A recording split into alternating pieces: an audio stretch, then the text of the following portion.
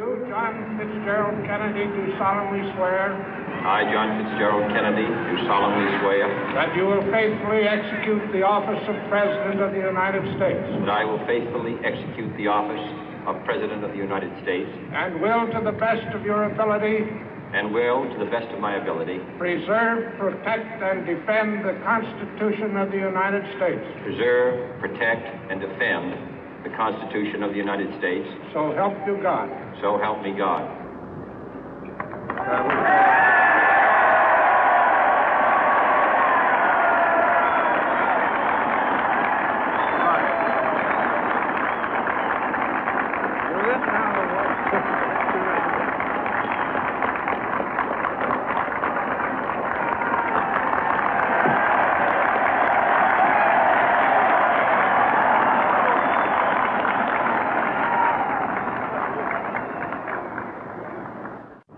Vice President Johnson, Mr. Speaker, Mr. Chief Justice, President Eisenhower, Vice President Nixon, President Truman, Reverend clergy, fellow citizens.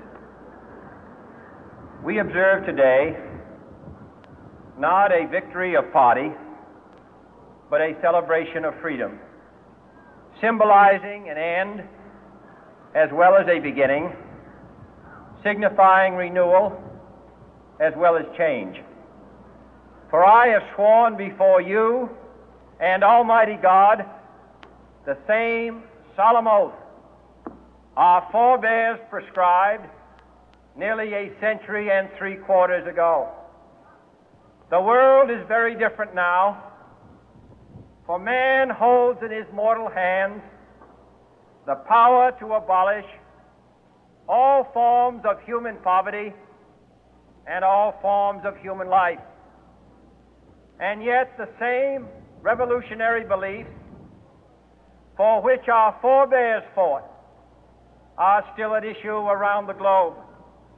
The belief that the rights of man come not from the generosity of the state, but from the hand of God. We dare not forget today that we are the heirs of that first revolution.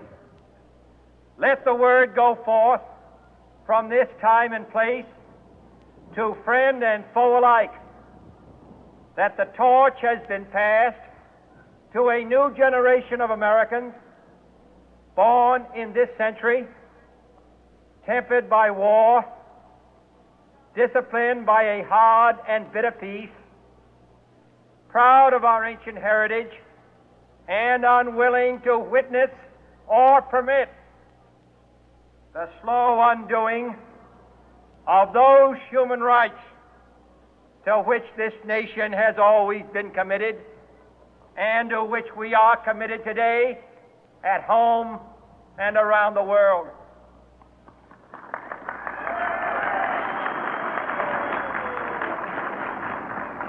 Let every nation know, whether it wishes us well or ill, that we shall pay any price, bear any burden, meet any hardship, support any friend, oppose any foe to assure the survival and the success of liberty.